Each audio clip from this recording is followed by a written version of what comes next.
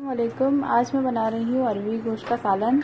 इसके लिए आपको चाहिए गोश्त, प्याज, टमाटर, अरवी, लहसुन अदरक का पेस्ट। मसालों में आपको चाहिए लाल मिर्च पाउडर, हल्दी, धनिया पाउडर, नमक, गरम मसाला, साबुत, जिसमें लौंग है और काली मिर्च है। और आखिर में ऊपर से डालने के लिए आपको चाहिए हुआ गरम मसाला, थोड़ा सा और हरा धनिया। सबसे पहले हमें अपनी प्याज को ग्राइंड करना है। प्याज हमारी ग्राइंड हो चुकी है। अब हम एक पैन में तेल डालेंगे आधे कप के जितना। गोश्त डालेंगे। लहसुन अदरक डाल के इसको भूलेंगे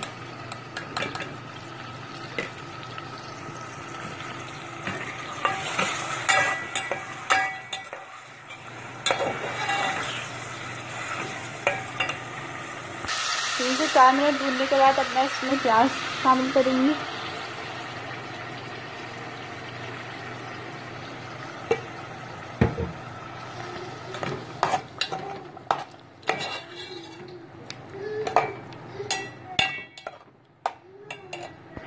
और तमाम मसाले भी डाल दूँगी।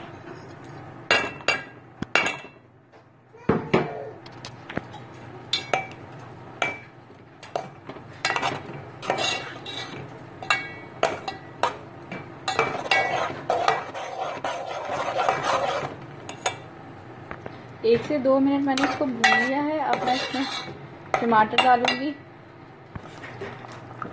टमाटर भी मैंने डाल दिया है।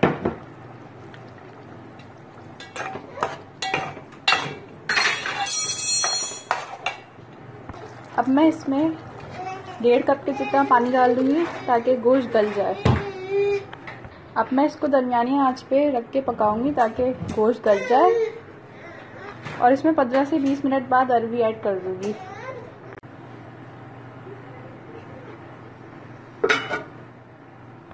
से 15 मिनट पकने के बाद अब हम इसमें अरवी डालेंगे। अरवियों को डालने से पहले इसमें बीच में हम थोड़ा सा कट लगा लेंगे, ऐसे। ताकि अरवी गलने में आसानी हो जाए।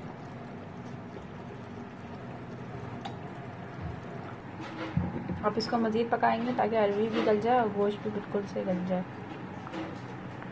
सालन हमारा तैयार हो चुका है, गोश्त बिल्कुल गल गया है और अरवी भी गल गई है। अब हम, हमने चूल्हा बंद कर दिया है और हम इसमें गरम मसाला डालेंगे और हरा धनिया।